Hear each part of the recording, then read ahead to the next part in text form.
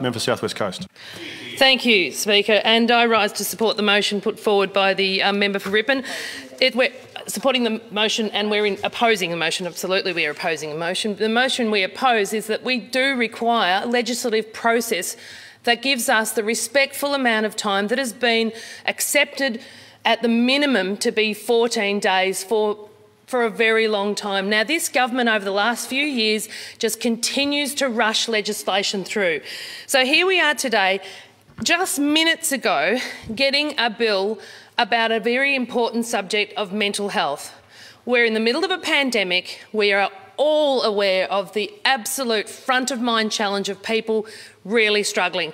Now, that's on the back of a Royal Commission that was six years in the making, where people know already that the system is breaking. So we've had a long time to do some fixing, but we haven't seen this government act.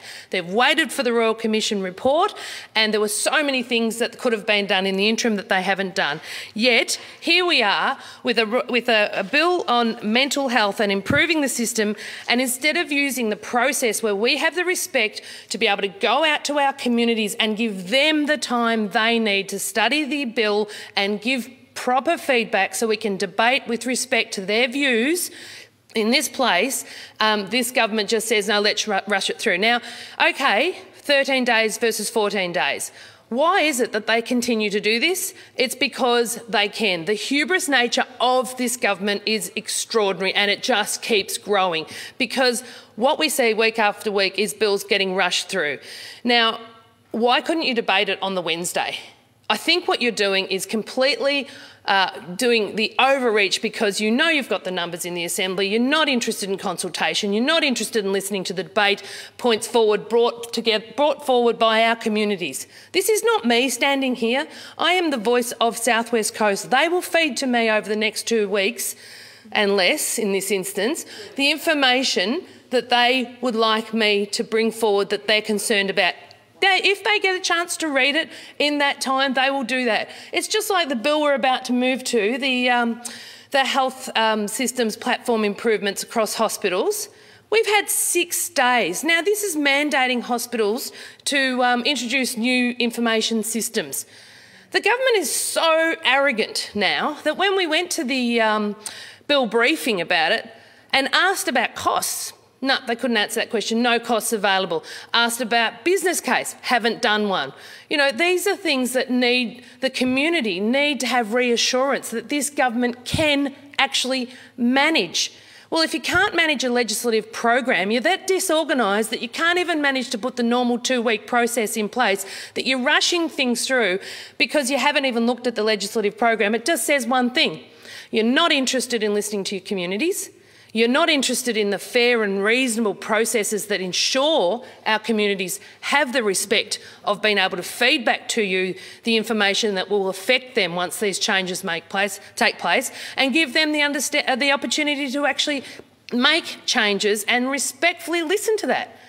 14 days is something that is all we've asked for, and yet six days one week, 13 days the next week. It's a total disregard for the community, a community who have been struggling more than ever.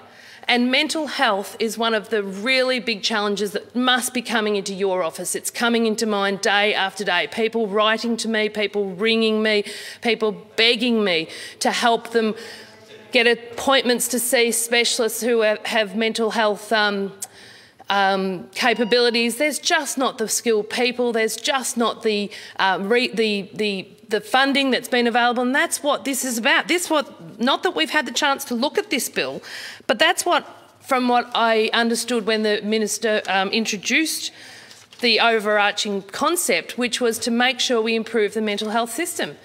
Well, why wouldn't you want to do that properly? Why wouldn't you want to give the respect to the community and listen to them? This is not about us standing up here uh, insulted by losing one day. This is us standing up here representing our communities and saying, show some respect and do things properly so that we have the opportunity to consult our communities. That's not that big of an ask. It's not that big of an ask. But if you're so arrogant now that you think you don't even need this place and you're not interested in the process and you want to rush bills through that you don't even think that's necessary to consult with your community, if you want to introduce legislation and have no budgets for it even, then The- you'll fail. The question is that debate be adjourned for